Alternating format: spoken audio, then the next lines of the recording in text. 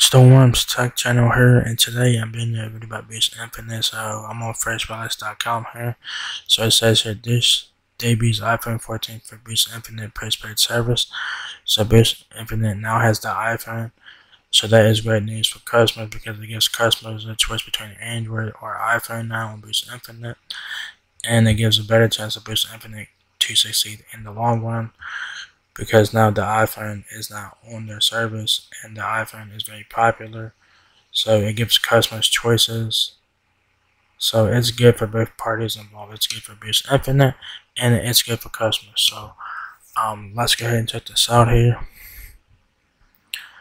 It says here it's been a rough week, month, and year for Dish Network.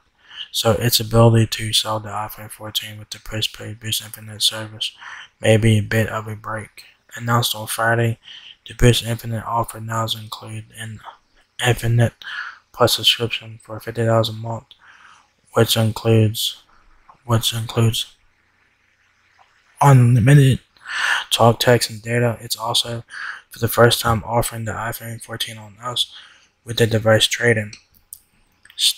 New customers can sign up for the Boost for the Boost on for the Boost Unlimited Plus service at the Boost Infinite website. The device trade-in is done online and through a shipping process since Boost Infinite is primarily an online service versus being sold in physical stores. Here's a quote from Jeremy McCarthy, head of Boost Infinite, and he says, quote, We developed Boost Infinite to provide an outstanding customer experience and meaningful value to our members while keeping things simple and straightforward. End quote. And he goes on to say, now with the introduction of the Infinite Plus, we are offering the best option for our members to get iPhone 14. We are excited to add iPhone 14 to our lineup with an impressive camera system, incredible battery life, and vital safety capabilities. End quote. The Infinite Plus offer is different from the infinite. Is different from the infinite unlimited package. And that the latter does not include North American or or international connection plans or access to special phone offers. Uh, Dish shares were down more than 9% at one point on Friday, trading around $6.72, which isn't surprising. This stock has been fucking shit the whole, pretty much the whole year since they had that cyber attack back in March. So this has been going downhill ever since and losing customers and all that. So, uh, I'm not surprised that this stock is still low. So they better tighten up. It says here. It says here. Uh, Earlier this week, S&P Global announced changes to its it changes to its indices, resulting in Dish network falling off the S&P 500 and being reassigned to the S&P Small Cap 600 effective June 20th. Says in March, Dish suffered a cyber attack that ended up costing it around $30 million, and it's been hit with investor lawsuits, plus it's facing a deadline to come up with $3.5 billion to buy 800 MHz spectrum from T-Mobile or pay a penalty estimated $2 million to T-Mobile. So Dish better tighten the hell up. And they also had to have their 5G network covered 70% of the US by June 14th. We'll see if they make that deadline or not. We will wait and see. So Dish better tighten the hell up. Boost Mobile versus Boost Infinite if you guys wanna if you guys want the quick answer for that, Boost Mobile is prepaid, Boost Infinite is postpaid. So let's continue. It says Dish has been offering prepaid service through Boost Mobile, but Boost Infinite is its postpaid brand, which Dish views as the as the more profitable as the more profitable model. It's been working for more than a year to get the postpaid brand ready for wide scale commercial rollout.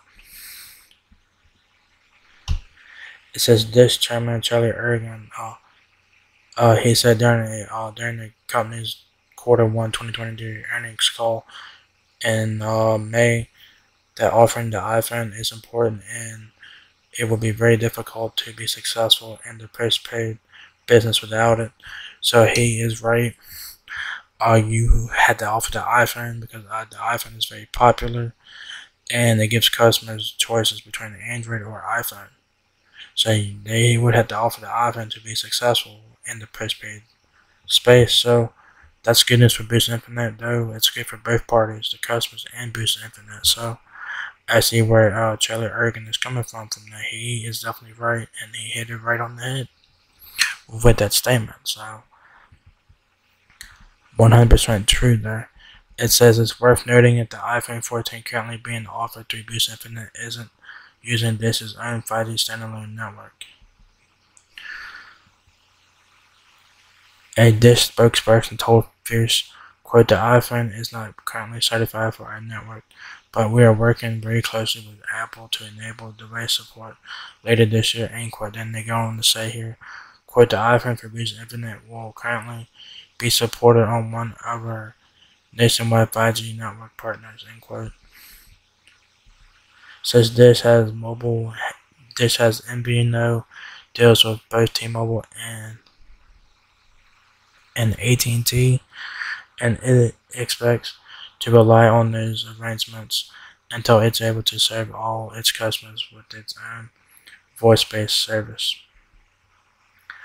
Says here Dave Mayer, Dish EVP of Network Development, said last month that he's confident Dish will meet its deadline to offer its 5G network to 70 percent of the US by June 14th. Like I said, we will we will have to wait and see about that. Dish will meet its deadline to offer its own 5G network to 70 percent of the US by June 14th. Okay.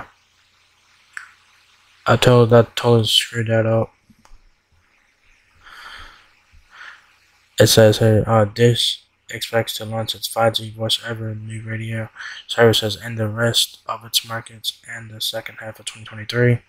So we'll see if Dish meets its uh, deadline of 70% coverage of its 5G network by June 14th. But we will have to wait and see about that.